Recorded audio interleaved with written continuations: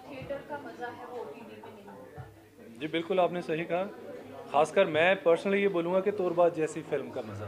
क्योंकि the visual effects sound जो सब चीज़ें हैं तो वो आपको जो 75 फाइव mm के ऊपर देखने में मज़ा आता है। You can enjoy that feel on a mobile या ऑन अ टीवी छोटे उसके ऊपर। बट अगर हम इसको पॉजिटिव देखें तो जैसे गिरीश सर ने पहले ही बताया था कि जो इसकी ऑडियंस है नेटफ्लिक्स की, क्योंकि हमारी फ़िल्म नेटफ्लिक्स के ऊपर आ रही है वन पुनीत पाजी एक सौ one ninety two 190 countries 192 million लोगों तक इसकी पहुँच है।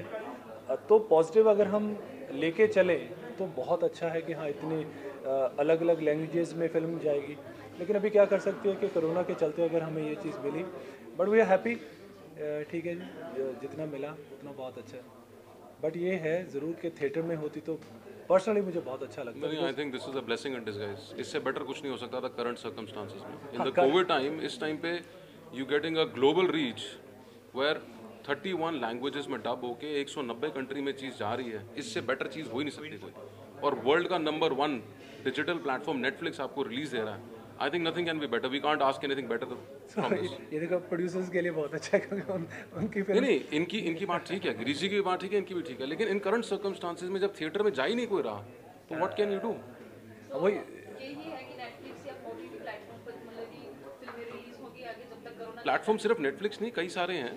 गुड थिंग इज़ कि ये रादर ये प्लेटफॉर्म्स ना होते तो मैं ये बोलता हूँ कि रादर इस टाइम पे कोरोना के टाइम पे लॉकडाउन में लोगों को ये प्लेटफॉर्म्स ना होते तो उनका घरों में रहना मुश्किल हो जाता मुश्किल था सही बात ये प्लेटफॉर्म्स थे लोगों ने इस टाइम पे अच्छा अच्छा कंटेंट देखा। जिन लोगों ने ज़िंदगी में कभी कोई स्पेनिश कभी कोई मैक्सिकन कभी कोई चीज़ें नहीं देखी थी उन लोगों ने वो चीज़ें तक देख डाली सो पॉइंट इज़ इसकी वजह से क्या दुनिया छोटी हो गई है?